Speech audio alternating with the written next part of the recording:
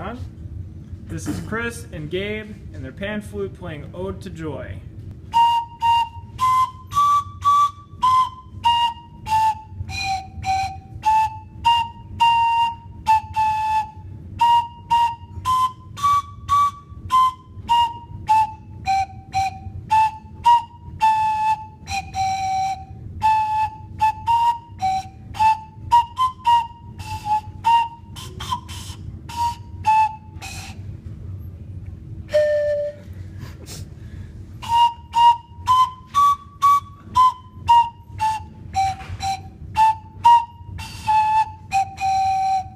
Very nice.